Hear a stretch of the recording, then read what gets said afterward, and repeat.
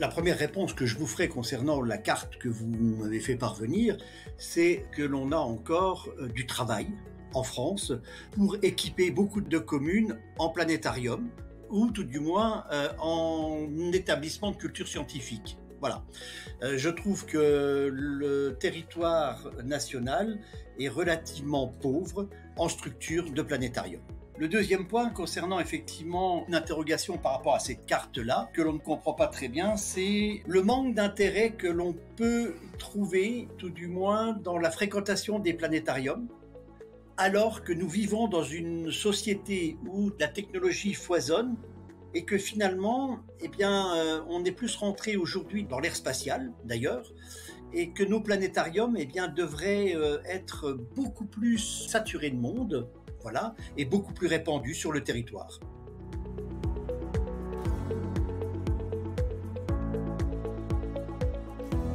Le rôle d'un planétarium, il est capital et il est important dans cette société justement où la technologie foisonne, de pouvoir mettre en débat la science face à ses mythes, ses réalités, ses croyances. Et du coup, on voit que le planétarium, il permet d'ouvrir au débat multiculturel, au débat multireligieux.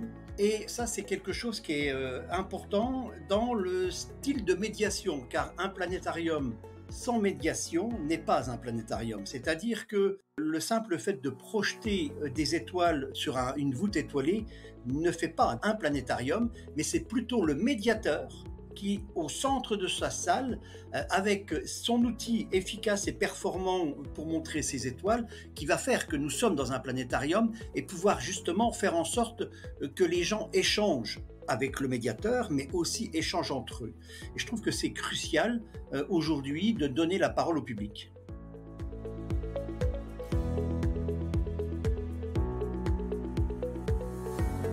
Je pense que le principal défi dans l'avenir des planétariums se situe non pas dans la médiation, mais dans la technologie. Aujourd'hui, effectivement, on voit que l'on a affaire à des technologies euh, qui arrivent, telles que la réalité augmentée, la réalité virtuelle, euh, qui sont euh, des technologies qui sont autour de l'image. Mais néanmoins, ce que je vous disais tout à l'heure, c'est que la force du planétarium reste le médiateur associé à une projection d'image. Et on voit aujourd'hui que le planétarium pourrait s'ouvrir vers d'autres technologies, c'est-à-dire garder son dôme immersif, car effectivement, il amène une expérience collective, mais également pouvoir travailler sur de la réalité euh, augmentée ou de la réalité euh, virtuelle. Donc je crois que on n'a encore pas cette réponse quant à l'avenir, mais en tout état de cause, nous ne sommes pas forcément inquiets euh, sur l'avenir des planétariums. Nous nous interrogeons simplement sur les technologies efficaces à mettre en place par rapport à nos médiations.